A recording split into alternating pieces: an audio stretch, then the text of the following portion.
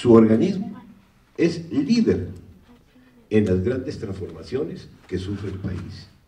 Y en Nogales no es la excepción.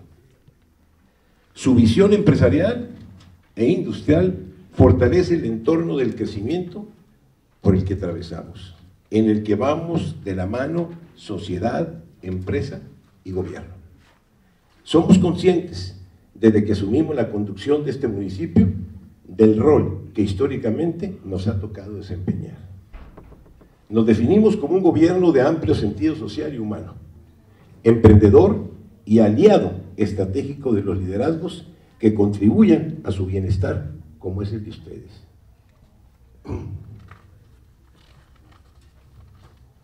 En esta ruta hemos hecho un llamado sostenido a que los comercios e industria de esta frontera seamos aliados naturales en la generación de su prosperidad y pujanza. Como hechos son amores, nos hemos empeñado en dar testimonio concreto en la parte que compete al gobierno municipal. Así, por ejemplo, nos ocupamos en generar las condiciones sociales idóneas para que las inversiones arriben y se asienten en un ambiente de seguridad y certidumbre.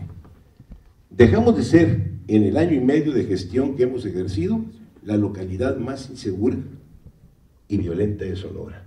Ahora somos reconocidos sostenidamente por las autoridades estatales como un municipio que destaca por sus índices de prevención y combate al delito.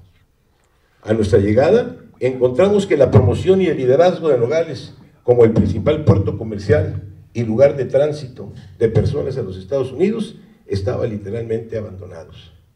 Hoy dicha posición se ha recuperado con un esfuerzo incesante en la promoción de nuestras ventajas competitivas.